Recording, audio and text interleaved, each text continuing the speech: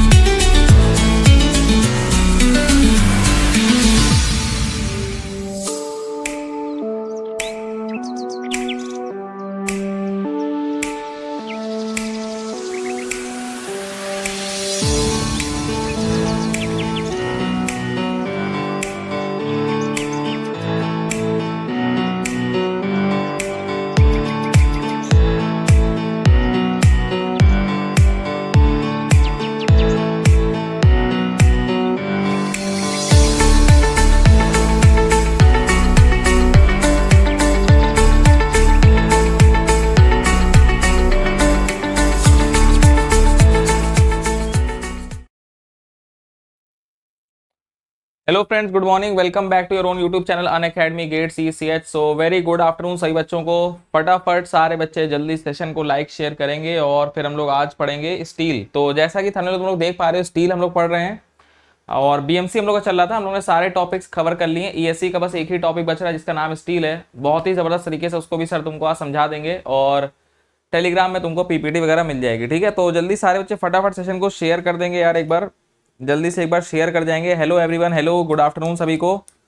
तो जब तक बच्चे जुड़ रहे हैं, तब तक जल्दी से तुम लोग कुछ खास बात बताते हैं यार। Everyone knows me now my name is Chetan Saxena best GATE rank 55 and 301 expert in GATE ESC और सब्जेक्ट्स ये हैं जो सर जनरली लेते हैं। अभी फ़िलहाल कॉन्क्रीट और बीएमसी पढ़ा रहे हैं तुम लोग को, ठीक है?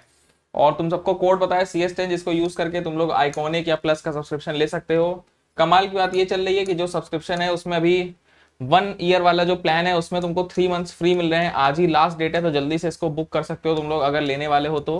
तो ट्वेंटी अप्रैल आज लास्ट डेट है, जिसमें तुमको ट्वेल्व प्लस थ्री मंथ्स का सब्सक्रिप्शन मिल जाएगा। ठीक है लास्ट कॉल है, बहुत इसकी डिमांड अच्छी थी, काफ़ी ज़्यादा डिमांड है, बच्चे इसको काफ़ी डिमांड कर रहे हैं तो यहाँ पे तुम लोग इसको प्लान आउट कर सकते हो। ठीक है? चलो तो देख लेना सब लोग इसको, आज लास्ट डेट है। ट्वेल्व प्लस सी तुम लोग को मिल जाएँगे और फ़ीस तुम लोग यहाँ पे देख सकते हो। कोड तुमको पता है C S N code use करना है तो तुमको two seven two two five में ट्वेल्व के साथ थ्री मंथ्स एक्स्ट्रा मिल जाएँगे, ठीक है? चलो, बाकी एक डेढ़ साल की फ़ीस तुम यहाँ देख सकते हो और ये दो साल की फ़ीस यहाँ पे तुम देख सकते हो, ये लिखी हुई है। बाकी अगर हम आइकॉनिक की बात करें तो एक साल की फ़ीस यहाँ पे फोर्टी फाइव के अराउंड है और दो साल के अराउंड सिक्सटी सिक्स की है। अगर तुम कोड यूज़ करो सी एस एन वरना और ज़्यादा है, ठीक है? कोड यूज़ करने के बाद ये है ठीक है, बाकी यार देखो यार, सबको अन अकेडमी के ऐप पे फॉलो करना है सर को, और यहाँ पे देखो आज शाम को हम लोग पाँच बजे आरसीसी की क्वेश्चन प्रैक्टिस क्लास करने वाले हैं। आरसीसी क्वेश्चन प्रैक्टिस कर सकते हैं हम लोग। और इसका लिंक तुमको हमने टेलीग्राम में शेयर कर दिया है। सारे बच्चे सर के Telegram channel Chetan sir C S ten पे जुड़े हुए हैं, ठीक है? यहाँ पे तुमको लिंक मिल गया। शाम को पाँच हम लोग मिलेंगे स्पेशल क्लास में, जो कि अन अकेडमी की ऐप पे होती है। सारे बच्चे यहाँ पे फॉलो कर सकते हैं सर को। गेट एसी कैटेगरी में। ठीक है? अब हम बात कर लेते हैं सिलेबस की। तो देखो यार, हमारा सिलेबस ऑलमोस्ट कवर हो चुका है। बहुत ध्यान से देखना, हम लोग यहाँ पे सिर्फ़ हमारा एक ही टॉपिक बचा है, जिसका नाम है स्टील बाकी stone lime glass plastic F सब कुछ जितना तुम यहाँ देख रहे हो, सब कुछ हमने कवर करा दिया तुमको, और कुछ भी छूट नहीं रहा है। हर एक चीज़ बहुत ही डिटेल में अच्छी तरीके से हमने पढ़ ली ठीक है? हाँ बस ये है कि पीपीटी तुम लोग को नहीं मिल पाई अभी। हम उसको थोड़ा शॉर्ट करके अच्छी तरीके से, जितना मतलब कंटेंट है जो तुम्हारे याद करने लायक है, उसको हम अभी शॉर्ट कर रहे हैं। तो वो हम शॉर्ट करके तुमको सारी जो स्टील है और ये क्या नाम है फ्लाई ऐश है, ये सब हम तुमको कंबाइन करके एक पीपीटी बना के सब कुछ उसमें डाल देंगे, ठीक है? कहाँ पे? टेलीग्राम चैनल पे, ताकि तुमको कोई कंफ्यूजन इसमें ना हो, ठीक है? तो ये सारे टॉपिक्स तुम्हारे अच्छे से कवर हो जाएँगे। एक ही पीपीटी में थोड़ा सा आसान हो जाता है यार, जब एक पीपीटी कंबाइंड रखोगे तो आसान हो जाएगा, इसलिए हम अभी अलग अलग तुम लोग बहुत दिन से बोल रहे हो फ्लाई एश दे दीजिए, सर एल्यूमिनियम दे दीजिए कमेंट्स तुम लोग हम पढ़ते रहते हैं सिरेमिक तो सब एक साथ रहेगा तो ज़्यादा सही रहेगा, है ना? कंबाइंड फॉर्म में पढ़ोगे तो आराम से एक बार डाउनलोड भी कर लोगे और फिर आसान हो जाएगा तुम्हारे लिए, ठीक है? तो पचास पीडीएफ लेने का कोई फ़ायदा नहीं है, एक पीडीएफ लो, काम हो जाएगा, ठीक है?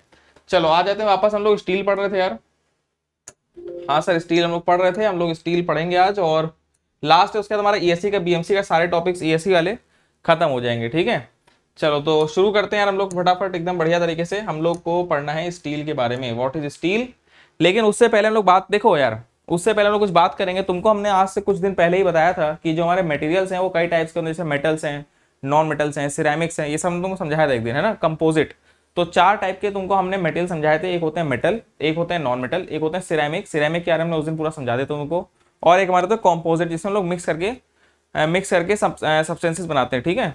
कॉम्पोजिट का एग्ज़ाम्पल तुमको हमने एफआरपी पढ़ाया था यार। कॉम्पोजिट का एग्ज़ाम्पल एफ़ पढ़ाया सिरेमिक अलग से पढ़ा चुके थे, और मेटल में तुमको हम एल्यूमिनियम पढ़ा चुके हैं। आज हम लोग कुछ और मेटल्स की बात करेंगे, ठीक है?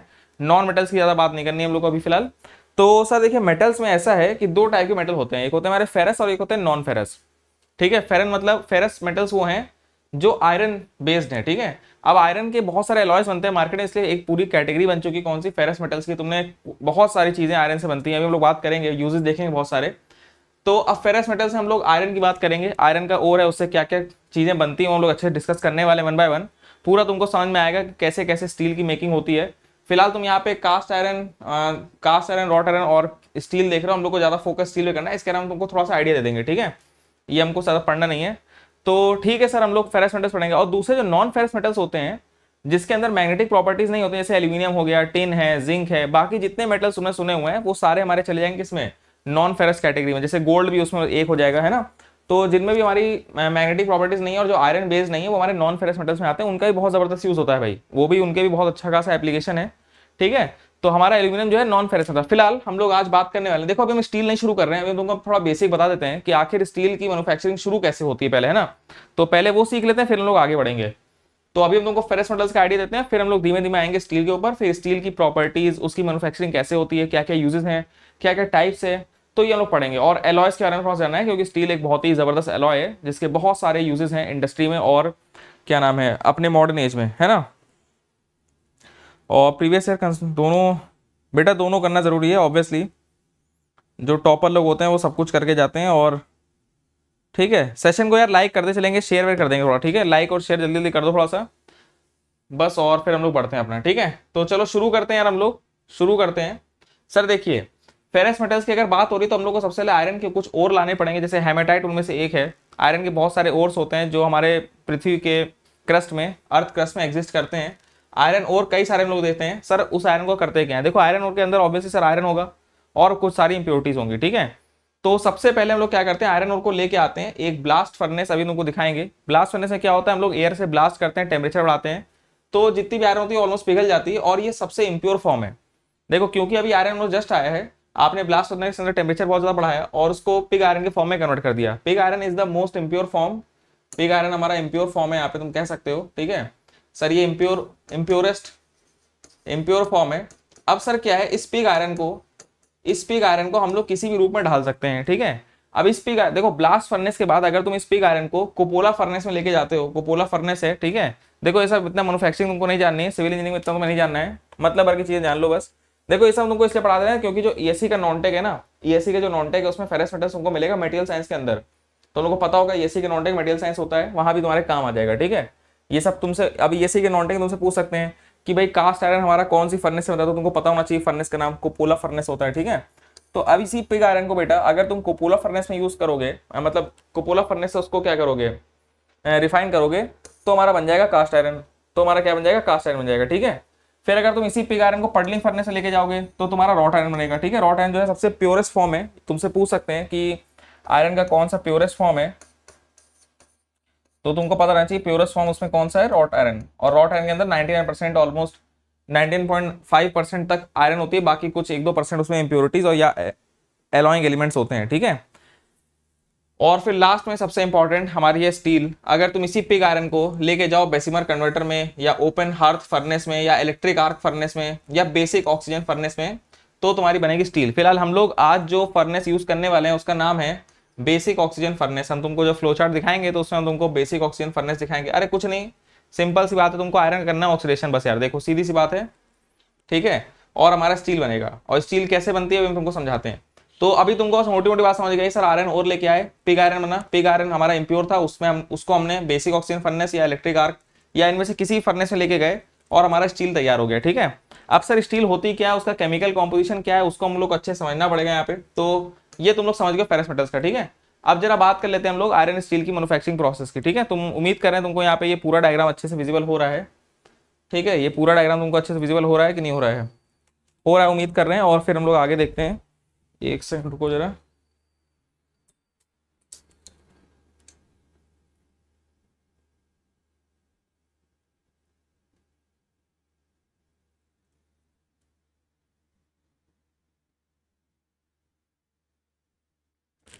ठीक है तो ये डायग्राम तुमको पूरा विजिबल है। ठीक है? हाँ तो जरा इसको देखते हैं हम लोग। ध्यान से देखते चलना, है ना? तो क्या करते हैं, देखो। सबसे पहले क्या करते हैं हम लोग आयरन ओर जो भी हमारा आयरन ओर है, ठीक है? आयरन ओर लाइमस्टोन और कुछ पैलेट्स वगैरह उठा के लेके आते हैं। मतलब बेसिक हम लोग को समझ में आए सर रॉ मटेरियल्स सर हमको क्या चाहिए? रॉ मटेरियल्स ठीक है सर तो रॉ मटेरियल्स को लेके आए हम कहाँ पे? ब्लास्ट फर्नेस में। तुम यहाँ देख पा रहे हो ब्लास्ट फर्नेस लिखा हुआ है। ठीक है? क्लियरली विजिबल होगा। देखो ब्लास्ट फर्नेस के अंदर हमने अब यहाँ भी जो बेसिक प्रोसेस तुमको इसके अंदर नहीं जाना। तुमको नाम में रखना है ब्लास्ट फर्नेस उसके बाद यहाँ पे गर्मा गर्म मेटल निकलता है। अब उस ब्लास्ट फर्नेस को हमने बेसिक ऑक्सीजन फर्नेस में या इलेक्ट्रिक आर फर्नेस में लेके तुमने पास किया। अब तुम खुद बताओ यार, अगर इसी ब्लास्ट फर्नेस से जब हमारा पिग आयरन बना था, ठीक है? पिग आयरन बना था तो क्या हुआ देखो यार? जब हमारा पिग आयरन बना था, है ना? तो पिग आयरन को सर हमने देखे बेसिक ऑक्सीजन फर्नेस या इलेक्ट्रिक आर फर्नेस में लेके गए। तो हमारा क्या बना? है स्टील बना, ठीक है? स्टील बना, चलिए ओके सर ओके ठीक है, सही बता रहे हैं आप। तो जो हमारे यहाँ से हॉट मेटल निकल रहा है, उसको हम लोग यहाँ बेसिक ऑक्सीजन फर्नेस में लेके जाते हैं और यहाँ से जो बचा कुछ निकलता है, उसको हम लेके जाते हैं इलेक्ट्रिक आर्क फर्नेस में। लेकिन दोनों ही हमको बना के देंगे स्टील दो ही हमको स्टील बना के देंगे। और देखो, ये सब जो है बहुत गर्म गर्म है अभी, है ना? यहाँ पे जो है, ये जो तुम देख रहे हो, ऊपर से यहाँ पे इलेक्ट्रोड जा रहे हैं। ये टेम्परेचर इतना ज़्यादा कर देते हैं कि ये सब जितना आयरन है, वो एकदम पूरा पिघला रहता है। पूरा पिघले हुए फॉर्म में रहता है। उसके बाद क्या होता है ये जब आगे बढ़ते हैं, ठीक है? अब यही हमारा आयरन या स्टील तुम कह सकते हो। ये जब आगे बढ़ेगी, अब देखो स्टील कुछ नहीं है है तो आयरन ही। बस, हम लोग क्या करेंगे? सर, इस फर्नेस से निकलने के बाद, इनमें अगर हम लोग कुछ एलॉयस इसको एलॉय बनाना है तो हम इसमें कुछ एलिमेंट्स मिला देंगे, जैसे क्रोमियम टंगस्टन जिंक और मॉलीबेटनम इस तरह से हम लोग कई सारे इसके अंदर एलिमेंट्स मिला सकते हैं। उनसे कुछ प्रॉपर्टीज़ एनहेंस होती हैं और वही आयरन आपका स्टील में कन्वर्ट हो जाएगा, ठीक है? आयरन में कुछ एलिमेंट्स मिला दो तो स्टील बन जाएगी बस, ठीक है? अब ये आयरन सर जब आगे बढ़ेगी तो हम इसकी कंटिन्यूस कास्टिंग करते हैं। कास्टिंग मतलब ये है, तुम, देखो कास्टिंग मतलब ये है, बराबर यहाँ पे शीट्स निकलती रहेंगी, ठीक है? अब वो शीट्स इस तरह से बिलेट ब्लूम या स्लैब किसी भी फॉर्म में हो सकती है, इसको तुम हॉट रोलिंग कर दोगे, ठीक है?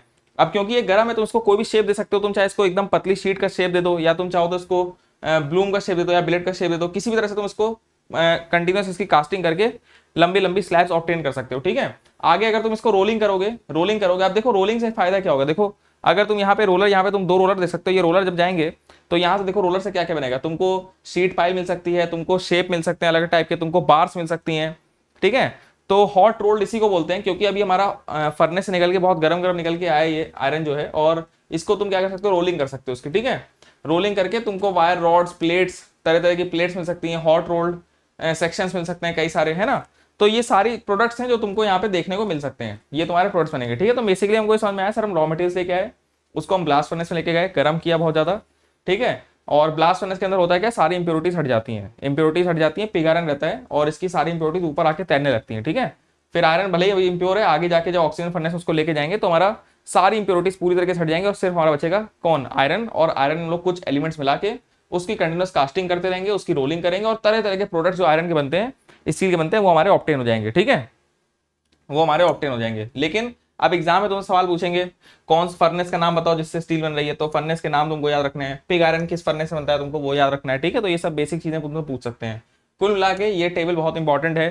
तुमसे एग्ज़ाम में सीधे सीधे क्वेश्चन पूछे जाएँगे कास्ट आयरन किस फर्नेस से बनता है तुमको बताना है कोबोला फर्नेस तुमसे पूछा जाएगा रॉट आयरन किस फर्नेस बनता है, तुमको नाम याद होना चाहिए पर्लिंग फर्नेस तुमसे पूछा जाएगा स्टील कौन सा फर्नेस बनता है तो तुमको बस ये। अब तुमको पूरा विजुअलाइजेशन और तुमको पूरी चीज़ें जानने की ज़रूरत नहीं है। इससे तुम्हारा काम आराम से चल जाएगा, ठीक है? लेकिन हाँ ये सब नाम इंपॉर्टेंट है, ये इम्प्योरेस्ट फॉर्म है, ये प्योरेस्ट फॉर्म है और हम लोग स्टील की बात कर रहे हैं। चलिए, ठीक है सर, हम लोग बेसिक चीज़ समझ में आई। आगे बढ़ते हैं। अब सर देखिए, हम लोग थोड़ा सा कास्ट आयरन और कार्बन स्टील में जरा फ़र्क समझते हैं, ठीक है? देखो, अब ऐसा है यार, ऐसा है कि अभी सर आपने हमको आयरन बनाया, ठीक है? हम समझ गए सर आयरन और था हमारा। हम समझे हमारा आयरन और था, कोई दिक्कत नहीं है। तो अगर आप आयरन और की बात करें तो सर देखिए आयरन और को आपने प्योरीफाई कर लिया और उसके अंदर अब आयरन आयरन है है ना? लेकिन यार ऐसा होता है ना, उसके अंदर आयरन है, चलिए ठीक है, समझ गए बात। लेकिन ऐसा है कि उसके अंदर एक और एलिमेंट है जिसको हम बोलते हैं कार्बन अब वो कार्बन जब वेरी करता है, वो कार्बन सर ज़ीरो परसेंट भी हो सकता है, वो कार्बन सर एक परसेंट भी हो सकता है, आधा परसेंट भी हो सकता है, दो परसेंट भी हो सकता है। तो इस कार्बन के परसेंटेज के बेसिस पे हमारी आयरन की प्रॉपर्टीज़ बहुत ही ड्रास्टिकली बदल जाती हैं। ठीक है? जैसे स्टील का अगर हम बोले तो स्टील में कार्बन परसेंटेज बहुत कम होता है, ठीक है? अगर यही कार्बन परसेंटेज हम थोड़ा सा बढ़ा दें तो उसी आयरन को हम लोग कास्ट आयरन बोलेंगे, उसी को कास्ट आयरन बोलेंगे, उसकी प्रॉपर्टीज़ पूरी चेंज हो जाएँगी। तो यहाँ पे तुम समझो, यहाँ पे हमको दो चीज़ें समझनी है। सर, आपने अभी स्टील आयरन मैन्युफैक्चर करा प्योर फॉर्म में था, आपने उसके अंदर कुछ एलिमेंट्स मिलाया, और उसमें एक एलिमेंट चमत्कारी कौन था भाई? कार्बन था हमारा। कार्बन था, सही बात है। तो इधर अगर तुम देखो कास्ट आयरन इधर सब कुछ लिखा है कास्ट आयरन के बारे में। तो कास्ट आयरन एक ऐसी है जिसके अंदर कार्बन कंटेंट ज़्यादा है? लगभग तीन परसेंट के आसपास इसमें कार्बन परसेंट है कास्ट आयरन के अंदर इधर। और यहाँ पे तुम देख पा रहे हो, ये कार्बन स्टील है जिसमें हमारा कार्बन कंटेंट एक परसेंट तक भी नहीं है, उससे भी कम है। देखो, लिखा हुआ है, यहाँ पढ़ते हैं हम लोग, शुरू करते हैं इसको कंपेयर करना, ठीक है? देखो कास्ट आयरन ये हाई कार्बन कंटेंट वाला है और ये तुम्हारा लो कार्बन कंटेंट वाला है। तो जिसमें कार्बन कंटेंट कम है, उसकी डक्टिलिटी ज़्यादा होगी। देखो, एक बात समझो पहले, तुमको हमने आरसीसी में पढ़ा रखा है। देखो, ये सुन लो सब लोग कार्बन कंटेंट बढ़ने से अगर हमारे आयरन के अंदर कार्बन कंटेंट बढ़ता है सर तो ब्रिटलनेस बढ़ेगी डक्टिलिटी कम होगी, समझ रहे हो? उसकी जो अल्टीमेट स्ट्रेंथ है बढ़ेगी। तुमको हमने ग्राफ से सब कुछ बताया था, उसका फ्रैक्चर जल्दी होगा अल्टीमेट स्ट्रेंथ ज़्यादा होगी पीक स्ट्रेंथ ज़्यादा होगा कर्व ज़्यादा ऊपर तक जाएगा, ठीक है? मतलब स्ट्रेंथ अल्टीमेट स्ट्रेंथ और उसका क्रशिंग स्ट्रेन कम होगा ब्रिटलनेस उसकी बढ़ेगी डक्टिलिटी उसकी कम होगी कार्बन बढ़ने से। लेकिन यही अगर कार्बन कम होगा सर तो डक्टिलिटी ज़्यादा होगी, ठीक है? तो बात करते हैं, जरा कंपेयर कर लेते हैं इनको। बहुत इंपॉर्टेंट ये बहुत इंपॉर्टेंट टेबल है। ये सारे पॉइंट इतने इंपॉर्टेंट है, इससे तुम्हारे बहुत सारे क्वेश्चन एग्ज़ाम के डायरेक्टली हो जाएँगे, ठीक है? तो चलो उसको देखते हैं। तो कास्ट आयरन सर हम लोग यहाँ पे देख पा रहे हैं। कास्ट आयरन हम लोग यहाँ पे देख पा रहे हैं। सर हमको क्या समझ में आ रहा है यहाँ पे कि कास्ट आयरन हार्ड है। यहाँ पे हम देख पा रहे हैं कास्ट आयरन सर क्या है? हार्ड बाकी ब्रिटल है। तुमको हमने बताया क्योंकि कार्बन कंटेंट इसके अंदर दो से चार परसेंट है, ठीक है? कार्बन कंटेंट अगर ज़्यादा होगा तो ब्रिटल होना ही, ये तय है, ठीक है? और ये हमारा sir it can be readily casted ये हमारा किसी भी मोल्ड में हम लोग इसको आराम से कास्ट कर सकते हैं, तभी इसका नाम क्या है? कास्ट आयरन ठीक है? कार्बन से ये प्रॉपर्टी इसके अंदर आ जाती है। तो मोर ब्रिटल है due to presence of high amount of carbon ये हमने तुमको ऑलरेडी समझा दिया है। डक्टिलिटी ऑब्वियसली कम हो जाएगी क्योंकि इसकी ब्रिटलनेस ज़्यादा है, ठीक है? और रिलेटिवली इसका मेल्टिंग पॉइंट कम है, इसका मेल्टिंग पॉइंट कम है, ठीक है? तो ये मेनली आयरन का बना है, इसके अंदर कार्बन पड़ा हुआ है, ये तुम लोग देख पा रहे हो आयरन है अलॉन्ग विद कार्बन बाकी क्या देख रहे हो? सिलिकॉन है। सिलिकॉन, मैंगनीज और ट्रेस अमाउंट्स ऑफ़ सल्फ़र और एक दो चीज़ें और है, ठीक है? फॉस्फोरस वगैरह। बाकी अगर हम इसकी बात करें तो जो तुमने सुना है माइल्ड स्टील तुमने सुन रखा होगा माइल्ड स्टील तुमने सुना होगा। वो हमारा कौन होता है? वो हमारा कार्बन स्टील है, ठीक है? अब ये भी देखो, कई टाइप्स की होती है हम आगे क्लासिफिकेशन पढ़ेंगे। तो कार्बन स्टील वो है सर जिसमें हमारा हाई अमाउंट ऑफ़ कार्बन नहीं है, ठीक है? इसमें क्या लिखा है? High amount of carbon low amount of other elements ठीक है? हाँ ठीक है मतलब कार्बन कास्ट आयरन के कंपेरिजन कम है, लेकिन जनरली बाकी एलिमेंट्स के कंपेरिजन में कार्बन की अमाउंट ज़्यादा है। फॉर एग्ज़ाम्पल जैसे तुम इसके अंदर क्रोमियम टंगस्टन जिंक और भी तरह तरह के अभी हम लोग एलॉइंग एलॉय एलिमेंट्स हम तुमको बताएँगे इसके अंदर। लेकिन कार्बन उन सब में सबसे ज़्यादा कार्बन कंटेंट लगभग लगभग एक परसेंट तक है। फॉर एग्ज़ाम्पल अगर तुम माइल्ड चिल की बात करो तो पॉइंट थ्री परसेंट तक होगा। आगे लिखा हुआ है सब, ठीक है? अभी इसको हमको क्लासीफाई करना पड़ेगा। कास्ट आयरन से ज़्यादा स्ट्रॉन्ग है कार्बन कंटेंट कास्ट आयरन का मार्जिन कम है, लेकिन और जो एलिमेंट्स यहाँ पे उससे ज़्यादा होगा, ठीक है? इसकी डक्टिलिटी सर ज़्यादा होगी और इसका मेल्टिंग पॉइंट रिलेटिवली हाई है। समझ गए इसमें मेनली हमारा आयरन है अराउंड 99 परसेंट के आस नहीं 96 परसेंट के आसपास कह सकते हैं। और एक परसेंट से कम इसमें कार्बन है और बाकी सब भी point two percent, point four percent इस तरह से बाकी सारे एलिमेंट्स भी हैं, ठीक है? तो मेनली हमको कार्बन स्टील पढ़ना है। कास्ट एन से कोई मतलब है नहीं। कास्ट एन वैसे भी अलग से बना था हमारा। पीछे देखते चलो। कास्ट एन वैसे भी हमारा कोपोला फर्ने से बना था। उस समय फ़िलहाल अभी मतलब नहीं है ना? नहीं बेटा, ये गेट के लिए नहीं है। ये गेट के लिए नहीं है बेटा। ये उसके क्या नाम है? ईएससी में पूछ सकते हैं सब चीज़ें, ठीक है? चलो तो अब बात करते हैं कार्बन स्टील की, ठीक है? अब स्टील शुरू करते हैं हम लोग स्टील शुरू करते हैं, हमको कास्ट आयरन से कोई मतलब नहीं, हमको रॉट आयरन से कोई मतलब नहीं, हमको स्टील से मतलब है सर ठीक है? अब कार्बन स्टील तो देखो आयरन में अगर तुमने कार्बन का परसेंटेज कम रखा तो उसको हम कार्बन स्टील बोलेंगे। उसी आयरन में अगर तुमने कार्बन परसेंटेज ज़्यादा रखा तो उसको हम कास्ट आयरन बोलेंगे। बात समझ रहे हो? ठीक है। तो अब स्टील समझते हैं स्टील सर एक एलॉय है। एलॉय क्या है? एलॉय क्या होता है? सर एलॉय ऐसा होता है कि हमारा उसमें एक मेटल तो है ही प्योर उसके अलावा कुछ और भी चीज़ें हैं, जैसे आयरन के साथ साथ हमारे साथ और क्या है? कार्बन है। और अगर तुम तो उसमें छोटी मोटी चीज़ें और ऐड कर दोगे तो उससे और प्रॉपर्टी एनहेंस हो जाएँगी, है ना? क्या क्या यूज़ करते हैं, ये हम तुमको बता देंगे। क्या क्या यूज़ करते हैं हम तुमको बता देंगे, ठीक है? तो शुरू करते हैं। तो भाई स्टील जो है बहुत ही कॉमन मटेरियल है जिसको यूज़ किया जाता है। आजकल तो बहुत ज़्यादा इसका यूज़ होता है। देखो रोलिंग होने का देखो शीट्स इस तरह से गोल गोल करके पैक कर दी जाती है, ठीक है? शीट्स इस तरह से गोल गोल करके यहाँ पे पैक कर दी गई ये शीट्स हैं, सारी गर्म होकर निकली थी। और एकदम इनको कंटिन्यूसली बना दिया गया था। समझ यहाँ पे तुम देख पा रहे होगे। और चाइना और इंडिया तो बहुत ज़बरदस्त लेवल पे स्टील को मैन्युफैक्चर करती है। तुमको पता रहना चाहिए कि इंडिया अपनी कंट्री बहुत आगे है स्टील मैन्युफैक्चरिंग में, है ना? बहुत सारे बड़े बड़े प्लांट्स भी हैं जो इंडिया में सेटअप हैं, जो स्टील लगातार बना रहे हैं। चौबीस घंटे, सातों दिन, तीन सौ पैंसठ दिन वो चलते हैं, ठीक है? और स्टील में जो रॉ मटेरियल्स हो जाते ही हैं। हम लोग नई स्टील तो बनाते ही हैं, लेकिन साथ साथ जो हमारी बहुत सारा पुराना कचरा होता है स्क्रैप स्टील जिसे बोलते हैं कबाड़ वाला जो स्टील रहता है उसको भी बहुत सारा यूज़ करते हैं। तो बहुत सारा पुराना स्टील जाता है और बाकी नए ओर्स जाते हैं। तो वो ओर्स और इधर से पुराना स्टील जाता है और वही सब बार बार बनता रहता है और इस तरीके से तुमको एंड में सीट्स दिखने को मिलती हैं। ज़्यादातर ये सीट्स बनती हैं। ये बहुत ही आ, मतलब क्या नाम है सबसे ज़्यादा मतलब कह सकते हो यही वो प्रोडक्ट है जो सबसे ज़्यादा बनाया जाता है। बाकी और भी देखो तुमको रॉड्स और बहुत सारी चीज़ें बनती हैं डिपेंडिंग ऑन द नीड्स वगैरह लेकिन ये स्टील शीट सबसे ज़्यादा बनती हैं है ना? चलो, बाकी ये मेजर कंपोनेंट है सर किसमें टूल्स टूल्स बनते हैं हमारे स्टील के। शिप्स में लगता है ऑटोमोबाइल्स हैं मशीन्स हैं अप्लायंसेज हैं और वेपन्स बहुत सारी चीज़ों में बनता है ना? अभी हम इन टाइप्स को आगे बताएँगे। इन टाइप्स को हम आगे बताएँगे। तो देखो, अभी तुमको क्या समझ में आया? हमको सर एक बात ये समझ आया कि स्टील मतलब आयरन कार्बन और कुछ छोटे मोटे एलिमेंट्स और स्टील मतलब ये है आयरन कार्बन को छोटे मोटे एलिमेंट्स और। स्टील में अगर कार्बन का परसेंटेज काफ़ी ज़्यादा है तीन चार परसेंट के आसपास तो उसको हम कास्ट आयरन बोलेंगे, ठीक है? सर ये थोड़ा एक बता दीजिए, इसमें थोड़ा सा दिमाग में सेट नहीं हो पा रहा है। चीज़ें थोड़ी कंफ्यूज हो रही हैं तो इसको पहले देख लो, इसको पहले देख लो ध्यान से, ठीक है? तो यहाँ देखो क्या लिखा है कि स्टील का मतलब आयरन एफ़ मतलब आयरन प्लस कार्बन और वो कार्बन हमारा 2.14 परसेंट से कम रहेगा। वो कार्बन हमारा 2.14 परसेंट से कम रहेगा, ठीक है? अब इसमें भी देखो दो चीज़ें हैं। एक हमारा होता है नॉन एलॉय एक होता है हमारा अलॉय नॉन एलॉय के अंदर हमारा सिर्फ़ आयरन और कार्बन है। ध्यान सुनो भाई, ध्यान सुनो, समझ आएगा सब, है ना?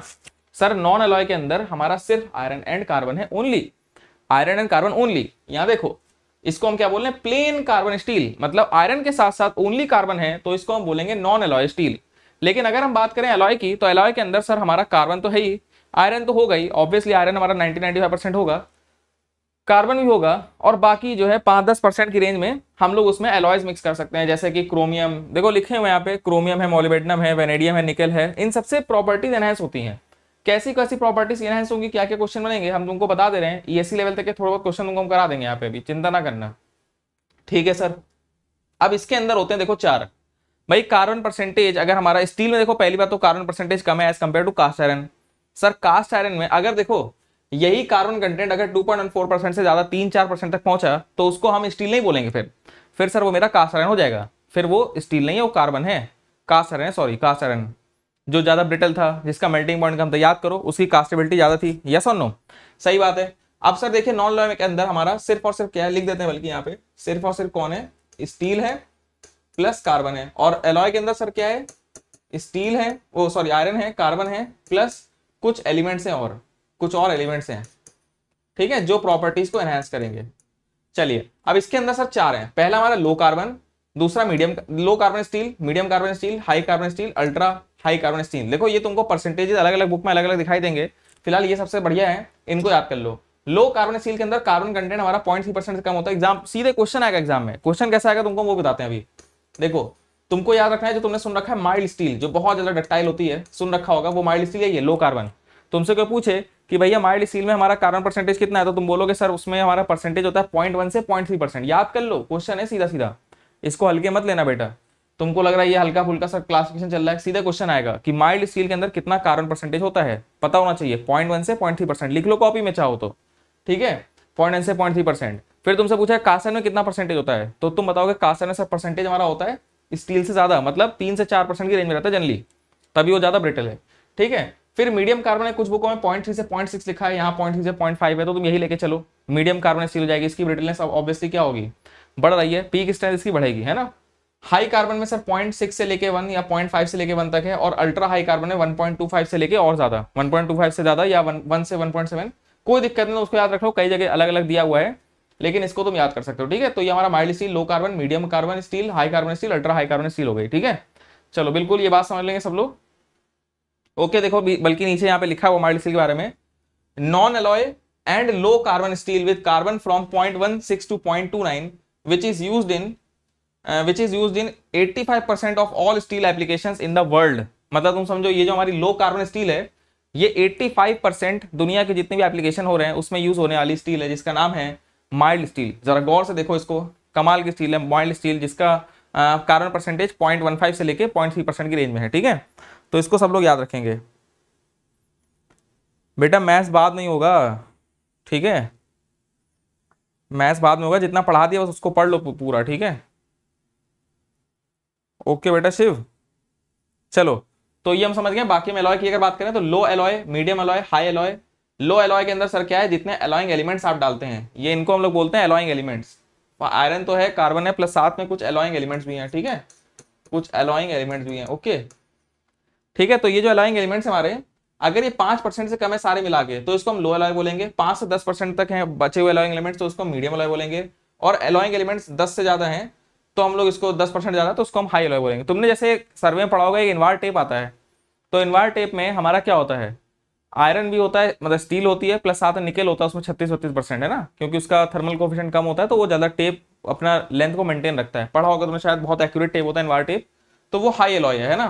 तो इस तरह से तुम देख सकते हो, कई सारे यहाँ पे सेवरल टाइप्स के हम लोग एलिमेंट्स यूज़ करते हैं। मीडियम एलॉय में हमारा chromium molybdenum chromium molybdenum vanadium nickel use करते हैं। निकल वहाँ यूज़ करते हैं, जहाँ क्रायोजेनिक स्टील हमको चाहिए होती है। अभी आगे बात करते हैं हम लोग। और ये हाई एलॉय के कुछ एग्ज़ाम्पल है स्टेनलेस स्टील स्टेनलेस स्टील के बर्तन तुम लोगों ने घर में यूज़ किए होंगे यार। स्टेनलेस स्टील के बर्तन तुमने घर में यूज़ किए होंगे। जिसके अंदर क्रोमियम कंटेंट 12 परसेंट से ज़्यादा रहता है ना? तो बहुत इंपॉर्टेंट है, ये तुमको याद रखना चाहिए। अब तुम समझ गए माइल्ड स्टील क्या है, उसका कार्बन परसेंटेज रेंज क्या है। वो हमारा नॉन अलॉय स्टील है, ये हमारा अलॉय स्टील है, ठीक है? चलिए क्लियर है सर बढ़ते हैं आगे हम लोग। अच्छा इससे पहले इससे पहले जरा हम लोग थोड़ा बात कर लेते हैं कि सर हमारा ये जो स्ट्रक्चर स्टील है अब देखो तुम हो यार सिविल इंजीनियर ठीक है? तुम्हें स्टील से बर्तन नहीं बनाने हैं। सीधी बात समझो पहले। हम लोग सर सिविल इंजीनियर हैं हम लोग को सर स्टील से बर्तन नहीं बनाने ना ही हमको शिप बनानी है ठीक है?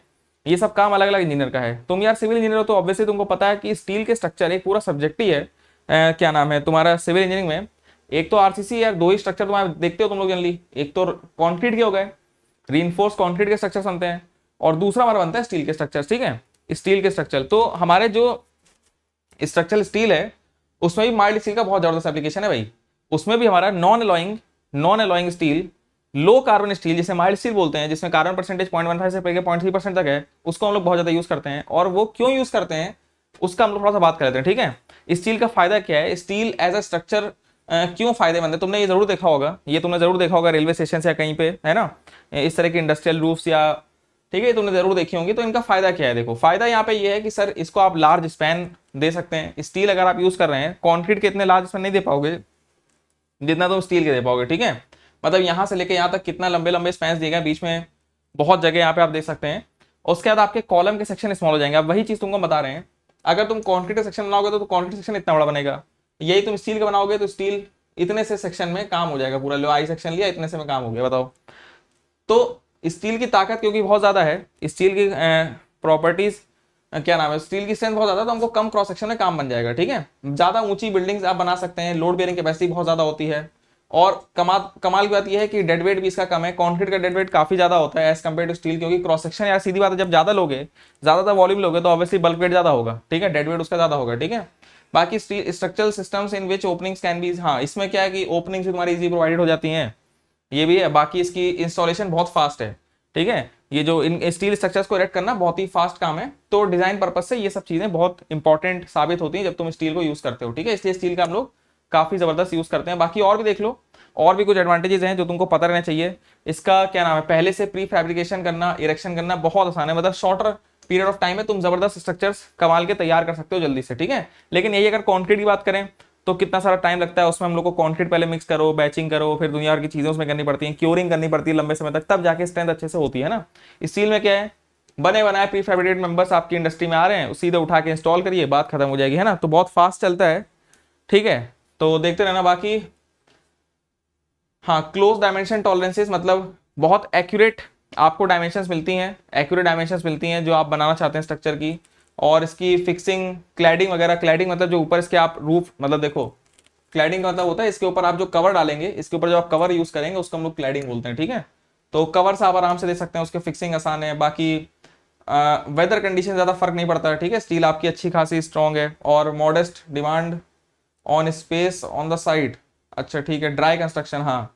ड्राई कंस्ट्रक्शन क्यों बोल रहा है? क्योंकि कॉन्क्रीट में हम लोग को पानी वानी का यूज़ करना पड़ता है तो इसका कंस्ट्रक्शन फ़िलहाल ड्राई है, ठीक है?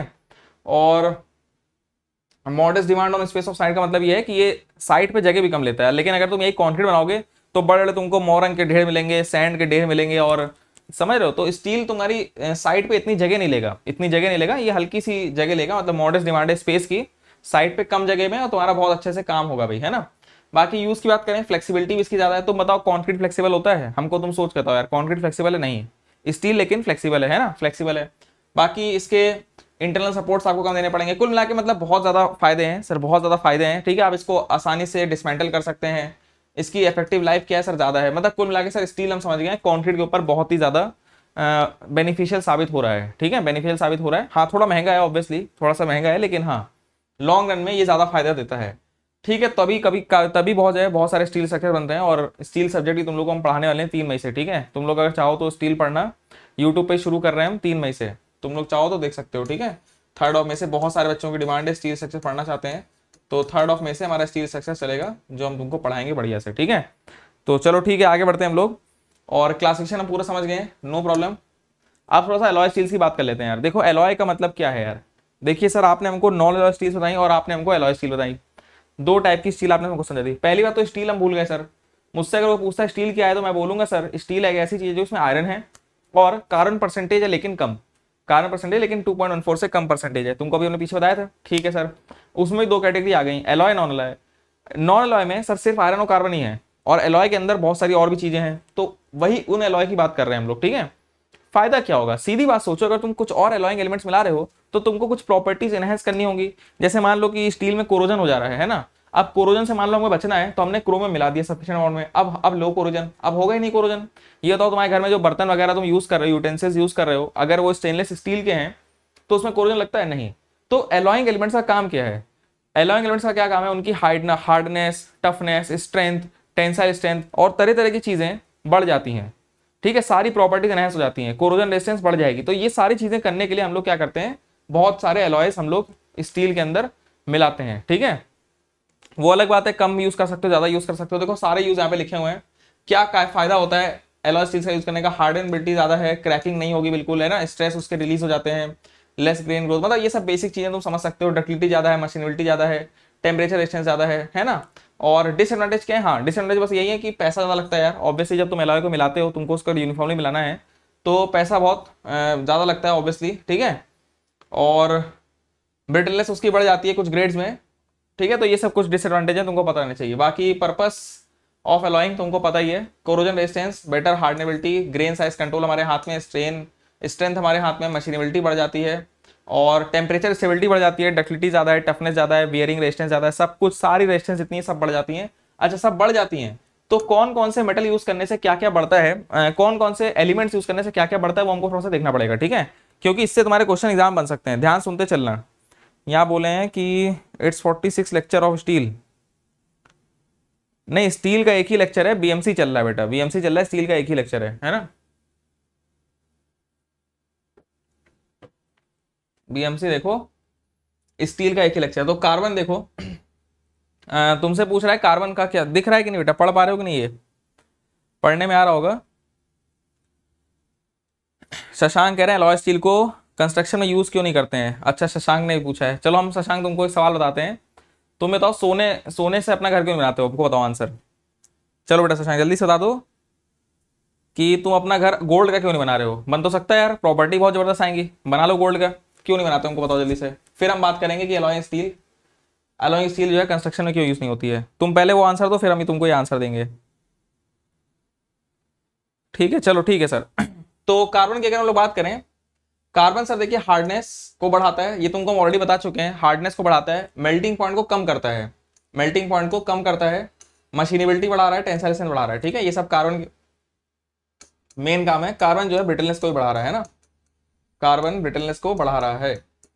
चलिए, ठीक है। अब देखो, तुमको हम वैसे वैसे बहुत सारे दिखाएँगे, लेकिन तुम इन सबको याद रख सको तो रख लो, वरना तुमको हम एंड में एक टेबल दिखाएँगे, जो तुमको कोशिश करनी, याद करने की, ठीक है? उसी से तुम्हारे क्वेश्चन बन सकते हैं। शशांक आंसर नहीं दे रहा, देखो। जल्दी आंसर दो बेटा।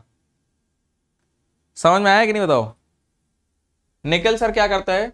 निकल हमारी टफनेस बढ़ाता है रेजिस्टेंस टू इम्पैक्ट बनाता है, ठीक है? अच्छा निकल की खास बात यह है कि इसका टेम्परेचर कोफिशेंट इसका कम है। मतलब जब आप टेम्परेचर बढ़ाएँगे तो ज़्यादा एक्सपैंड एक्सपैंड नहीं करता। अपनी लेंथ को चेंज नहीं करता है। तो निकल जो है टेम्परेचर रेजिस्टेंट है काफ़ी ज़्यादा, और स्टील की स्ट्रेंथ को काफ़ी ज़्यादा बढ़ा देता है, और कार्बन के साथ जुड़ता नहीं है, ठीक है? यही सब चीज़ें बाकी डिस्टोजन प्रिवेंट करता है। टफनेस और रेजिस्टेंस टू इम्पैक्ट पहला याद कर लो, बस बात खत्म। बाकी वेनेडियम की बात करें तो हार्डनेबिलिटी बढ़ा रहा है ये। बस बेसिक बेसिक चीज़ देखो देखो, तुमको अभी हम थोड़ा सा जो मैकेनिकल के पोर्शन है, जिस, जिसमें मैनुफैक्चरिंग उनके एक सब्जेक्ट है तो उसके अंदर बहुत सारी चीज़ें होती हैं जो तुमको पढ़ने की ज़रूरत नहीं है। जैसे तुमको आयरन के बहुत सारे ट्रांसफॉर्मेशन फेजेस होते हैं बीच में, जब वो मैनुफैक्चर किया जाता है तो वो सब तुमको पढ़ने की ज़रूरत नहीं है कि सीमेंटाइट क्या होता है मैग्नेसाइट क्या होता है, ये सब छोड़ सकते हो तुम लोग। ठीक है? तो बेसिक प्रॉपर्टीज़ मशीनेबिलिटी हार्डनेबिलिटी यही सब बस जानो। ज़्यादा ज़रूरत नहीं है, ठीक है? बाकी टंक्शन हमारा हार्डनेस को बढ़ा रहा है और फाइन ग्रेन कर देता है हीट को रेज करता है, ठीक है? टंक्शन तो हीट को रेज करता ही है यार, तुम सबको पता है कि तुम लोग का जो बल्ब होता है बल्ब के अंदर जो फिलामेंट होता है ना बल्ब अरे बल्ब सबने देखा है अपने घर में? उसके अंदर फिलामेंट है वो टंक्शन का ही है। तो तुम समझ सकते हो जो टंक्शन है, उसकी जो हीट झेलने की क्षमता है वो क्या है? काफ़ी ज़्यादा है। मतलब हाई टेम्परेचर अगर आपको हीट चाहिए सॉरी हाई टेम्परेचर अगर आपको स्ट्रेंथ चाहिए हाई टेम्परेचर पे जब हीट ज़्यादा है तब आपको स्ट्रेंथ चाहिए तो आप टंक्शन का ज़रूर इस्तेमाल करिए, ठीक है? टंक्शन आप यूज़ कर सकते हैं। चलो आगे बात करें। आ, देखो यहाँ पे इसको कभी कभी टंक्शन को रेड हार्डनेस बोलते हैं। रेड हार्डनेस क्यों बोलते हैं? क्योंकि ये गर्म जब है जब ये गर्म है तो गर्म समय भी इसके अंदर अच्छी खासी हार्डनेस है तभी इसको बोलते हैं टंगस्टन ठीक है? मॉडलस इलास्टिसिटी एंड कॉन्क्रीट क्या ऑलमोस्ट सेम होता है क्या इसलिए? नहीं बेटा। थर्मल एक्सपेंशन सेम होता है। दोनों लोग एक्सपैंड साथ साथ होते हैं सिकुड़ते साथ साथ हैं। ये कमाल की बात है इससे स्टील और उनको उनको साथ यूज़ करते हैं। इलास्टिसिटी तो एकदम अलग है यार। इलास्टिसिटी में ज़मीन आसमान का अंतर है। कॉन्क्रीट की लगभग पच्चीस हज़ार, तीस हज़ार की रेंज में होती है, उसकी होती है लाख, दो लाख में। आठ आठ, दस गुना का फ़र्क है। अच्छा chromium sir very important chromium देखो, बहुत इंपॉर्टेंट है यार। कोरोजन रेजिस्टेंस देखो, इसमें लिखा नहीं है, हम लिख देते हैं। तुमसे पूछे कोरोजन रेजिस्टेंस कौन प्रोवाइड करता है सबसे पहले हमारे कार्बन के अंदर? स्टील के अंदर तो हमारा कौन है? क्रोमियम ठीक है?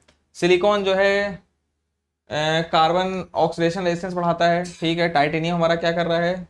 टाइटेनियम क्या कर रहा है? देखो मतलब का कोई है इसमें नहीं। अच्छा छोड़ दो इसको। मॉलीबेडनम हार्डनेबिलिटी बढ़ा रहा है। ठीक है, देखो ये सब इतने मतलब के नहीं है। हम लोग अपनी मेन टेबल पे आते हैं, क्योंकि इतना तुम याद नहीं कर पाओगे यार, है ना? हाँ ठीक है मैंगनीज से हार्डनेस स्ट्रेंथ आती है और कॉन्ट्रैक्ट ब्रिटलनेस फ्रॉम सल्फ़र अच्छा एक बात और है, एक तुमको और चीज़ समझा देते हैं। इसका क्वेश्चन ऐसे ही पूछा गया है। यार, ये जो सल्फ़र होती है, बड़ी प्रॉब्लम करती है यार। ये जो सल्फ़र है, ये बहुत प्रॉब्लम करती है तो इसके लिए लोग यूज़ करते हैं मैंगनीज मैंगनीज से सल्फ़र के साथ रिएक्ट करती है और सल्फ़र को हटा देती है, फिर सल्फ़र से होने वाले जितने भी डिफेक्ट्स हैं, जितनी प्रॉब्लम्स है स्टील के अंदर, वो खत्म हो जाती हैं, ठीक है?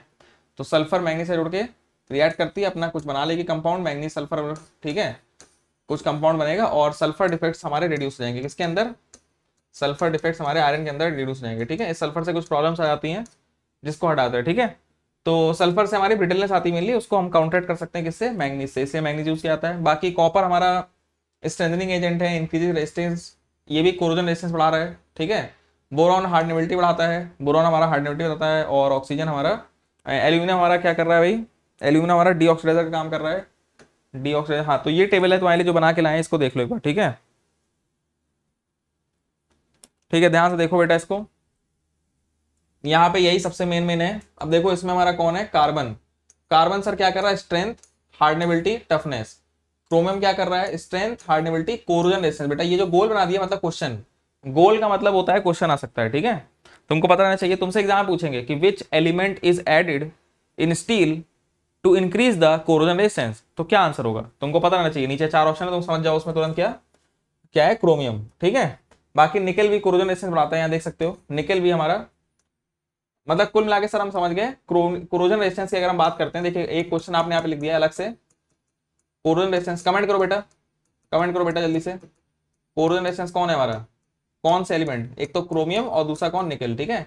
कोरोजन से बचने में बहुत हेल्प करता है। तभी तुम्हारे जो बर्तन तुम लोग स्टील के बनाते हो, उसमें कोई जंग वंग नहीं लगती है, ठीक है?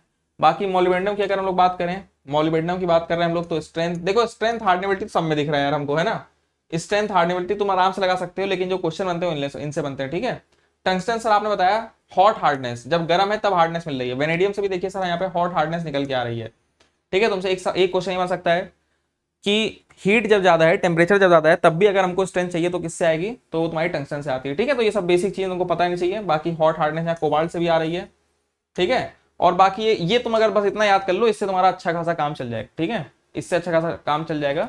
और कार्बन से टफनेस कम होती है। ये बिल्कुल सही बात है। टफनेस कम होती है ग्राफ छोटा हो जाता है। टफनेस का होता है तुमने अगर सो में पढ़ रखा हो तो area under stress stress strain curve हमारा जितना बड़ा होगा टफनेस उतनी ज़्यादा होगी। लेकिन जब हम कार्बन कंटेंट बढ़ाते हैं तो हमारा ये ग्राफ का एरिया छोटा हो जाता है।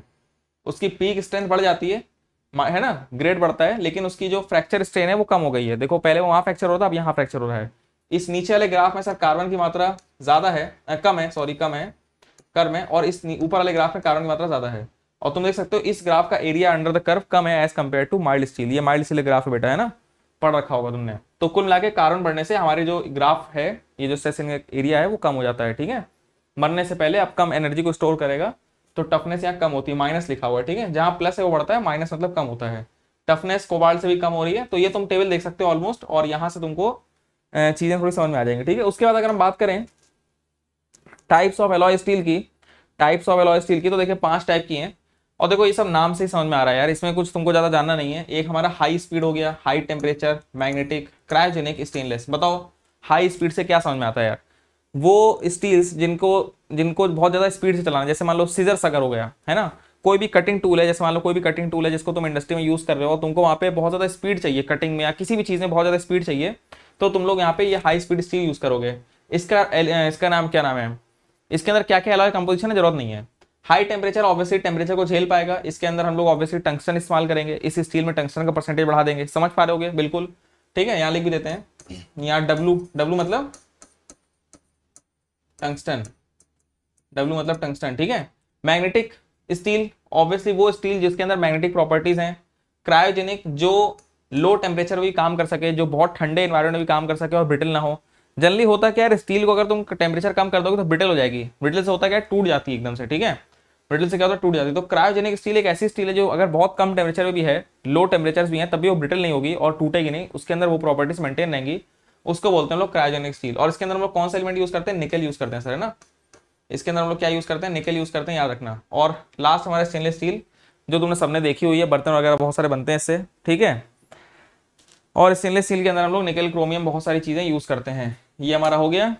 और स्टेनलेस स्टील के बहुत सारे एग्जाम्पल्स हैं जो मैं अलग अलग जगहों पे देखे होंगे। एक सेकंड इसको जरा देखो अच्छे से तुम लोग। एक सेकंड जरा सर को देंगे सब लोग यहाँ पे। इसको देखो एक सेकंड आते हैं ना।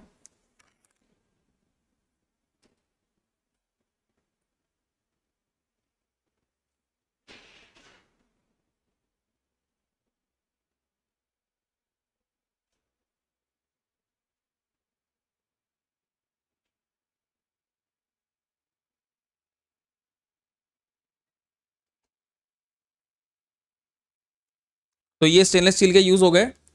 अब सबसे क्वेश्चन हम पूछने जा रहे हैं, देखें तुम लोग उसका आंसर दे पाते हो कि नहीं। ठीक है स्टील तुम लोग समझ गए हो और अलग अलग टाइप की स्टील भी समझ गए हो। ठीक है, अब जरा बताओ हमको कि बताओ, पहले क्वेश्चन का आंसर देंगे सारे बच्चे जल्दी से। और बस इसके साथ हमारा स्टील हो गया, समाप्त। ठीक है, तुमको बेसिकली याद करना है इसके कैसे बना था। और स्टील आखिर होता क्या है? एलॉइंग स्टील्स क्या है? नॉन लॉइंग स्टील क्या होता है? ये तुमको पता होना चाहिए। प्रॉपर्टीज़ तुमको पता होना चाहिए। क्यों हम लोग यूज़ करते हैं एज अ स्ट्रक्चर एलिमेंट ये तुमको पता रहना चाहिए और डिफरेंट टाइप्स ऑफ़ स्टील तुमको आइडिया होना चाहिए बस, बाकी कुछ चाहता नहीं। ठीक है? तो इसके साथ हमारा एसी का सारा सिलेबस खत्म हो गया। जल्दी बताओ इसका आंसर क्या होगा? कमेंट करेंगे। Stainless steel owe their corrosion resistance owes their corrosion resistance due to the presence of क्या? कमेंट करेंगे सब लोग। सर आज ही आपने हमको समझाया है। सल्फ़र तो सर हमारा ब्रिटलनेस कॉज करता है। सल्फ़र तो हमारा ब्रिटलनेस कॉज करता है, जिससे लड़ने की मदद करता है मैंगनीज मैंगनीज उस ब्रिटलनेस को कम करता है सल्फ़र आती है, ठीक है? कार्बन क्या करता है सर? कार्बन जो है हमारी हार्डनेस को बढ़ाता है। हार्डनेस को बढ़ाता है टफनेस को कम करता है। टफनेस को कम करता है पीक स्ट्रेंथ को बढ़ाता है ब्रिटलनेस बढ़ाता है है ना? ब्रिटलनेस बढ़ाएगा पीक स्ट्रेंथ बढ़ाएगा फ्रैक्चर स्ट्रेन ऑब्वियसली डक्टिलिटी कम हो रही है यहाँ पे। ठीक है? डक्टिलिटी को कम करेगा। ये हमारा कार्बन डक्टिलिटी कम करेगा। तो सारा सब सब बच्चे सही आंसर देंगे। पहले का आंसर डी है, बिल्कुल सही। क्रोमियम हमारा कोरोजन बढ़ाएगा, ठीक है? अगला बताओ very important question super hit question यार। भैया देखो ये, इसको हल्के मत लेना, ये जो माइल्ड स्टील है, इसको हम फिर से लिख दे रहे हैं। ये हमारा नॉन एलॉय स्टील है। सर, ये हमारी नॉन एलॉय स्टील है। ये पहले तो स्टील है, दूसरी नॉन एलॉय मतलब इसके अंदर सिर्फ़ कौन है? आयरन और कार्बन ही है। सर, इसके अंदर ओनली क्या आयरन और कार्बन या तुम इसको लो कार्बन स्टील ही बोल सकते हो। ठीक है? लो कार्बन स्टील बोल सकते हो। तुमको हमने पीछे पूरा अच्छे समझा दिया बता दो, दुनिया के जितने भी एप्लीकेशन हो रहे हैं उसमें 85 परसेंट एप्लीकेशन माइल्ड स्टील के ही ठीक है? माइल्ड स्टील ही हैं तो बस सही बता रहे हैं सब लोग। Up to point two percent use ही क्यों कर रहे हो? बहुत कम हो जाएगा। ये ठीक है। इसका आंसर है पॉइंट वन फाइव से पॉइंट थ्री परसेंट एक्जैक्टली यही है। बल्कि और एक्जैक्ट अगर हम चले तो पॉइंट वन सिक्स से लेके पॉइंट टू नाइन परसेंट लो, और एक्जैक्ट ठीक है? चलो, फ़िलहाल इतना बहुत है। ये हमारा कौन सा है? ये हमारा मीडियम कार्बन है। पॉइंट फाइव से ऊपर हमारा हाई कार्बन और अल्ट्रा हाई कार्बन स्टील्स होती हैं, ठीक है? स्टील और अगर आप टू पॉइंट, टू, दो परसेंट के ऊपर अगर आप जा रहे हैं, दो परसेंट के ऊपर तो आपकी वो स्टील नहीं है, फिर वो आपकी कास्ट आयरन वगैरह बन जाएगी, ठीक है? तो चलो, उम्मीद करें तुमको सब कुछ समझ में आया होगा, स्टील तुमने पूरा देख लिया, एक बार पीछे चलते हुए देखते हैं हम लोग बार। अगर हो पाए तो इन सब के में थोड़ा थोड़ा पढ़ लेना, लेकिन ज़रूरत नहीं है हमारे हिसाब से, बस बहुत है इतना, ठीक है? और बाकी एलॉइंग एलिमेंट्स का देख लेना एलॉइंग एलिमेंट से क्या क्या फ़र्क पड़ता है इंपॉर्टेंट और इससे काम काम भरे क्वेश्चन बन सकते हैं। बाकी डिटेल अगर तुम पढ़ना चाहो मैकेनिकल इंजीनियर तुम ये भी पढ़ सकते हो, ठीक है? उसके बाद हमारे एलॉय स्टील का फ़ंक्शन क्या है, वो भी हम समझ चुके हैं। क्लासिफिकेशन चार्ट इंपॉर्टेंट है। ये इंपॉर्टेंट है इसको अच्छे से देख लेना। पीपीटी तुमको मिल जाएगी। और हम लोग क्यों यूज़ करते हैं? स्टील होती क्या है, ये समझ चुके हैं हम लोग। बाकी फ़र्क क्या है और बेसिक मैनुफैक्चरिंग क्या है और हम लोग कौन कौन से टाइप के फेरस मेटल्स बनाते हैं, ये सब तुम्हारा यहाँ पे समाप्त हो गया, ठीक है? तो आई होप सबको बढ़िया समझ में आएगा स्टील और इसके साथ हमारी ई e की जितनी भी सिलेबस है, वो अच्छे से खत्म हो गई है ठीक है? यहाँ तुम देखो, हमने अब सब कुछ कवर कर दिया है।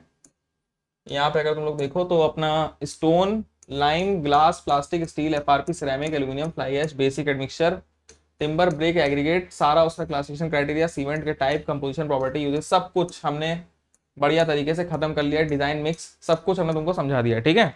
तो ई e का सिलेबस पूरा खत्म हो गया अब हमारा एसएससी का थोड़ा सिलेबस बच रहा है, जिसके अंदर हम लोग बेसिकली अभी पेंट वार्निश हम लोग नहीं कवर किया है तो कल हम लोग थोड़ा सा पेंट वार्निश देखेंगे, ठीक है? कल हम लोग different types of paints paints होता क्या है पेंट और वार्निश अच्छे से कवर कर लेंगे।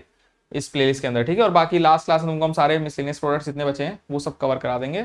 और इसके साथ तुम्हारा बीएमसी में तुम चैंपियन बन जाओगे। फिर कोई भी टॉपिक ऐसा नहीं होगा जो तुमको नहीं आता होगा, जिसका तुम्हें आइडिया नहीं होगा, ठीक है?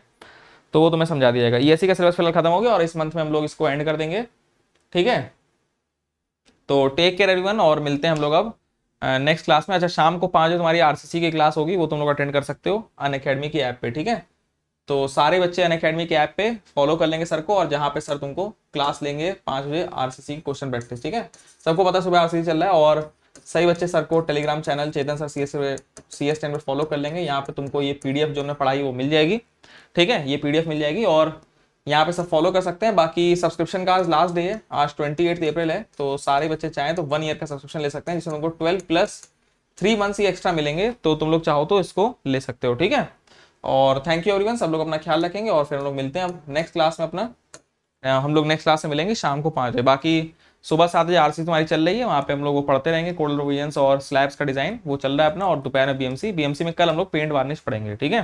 तो आई होप सबको मज़ा आया होगा। टेक केयर एवरीवन ख्याल रखिए अपना सब लोग, ठीक है? थैंक यू नेक्स्ट सब्जेक्ट पूछना बच्चे। नेक्स्ट सब्जेक्ट बेटा बताया हमने तुमको स्टील शुरू होगा थर्ड में से, ठीक है? थर्ड ऑफ़ में से स्टील शुरू होगा नेक्स्ट सब्जेक्ट और बाकी आरसीसी सुबह चल रहा है, ठीक है? चलो take care It's time to experience something glorious. An Academy Combat. Compete, crack, conquer. A challenging gate contest engineered to give you an experience like none other. Where you put your knowledge to test. and battle it out with a test. To bring out the best in you, An Academy Combat is the most competitive, gamified contest for date till date with the best of the questions by best educators. with detailed video solutions from top educators right after each contest. Combat live with peers to get real-time rankings and win big. Participate in every contest to improve your ratings. Challenging contests every fortnight or alternate Sunday. Live ranking after every question. Big rewards for top rankers. Your passion to crack gate deserves this. Your hard work towards your dream deserves this. Fuel your inner fire for the ultimate gate challenge.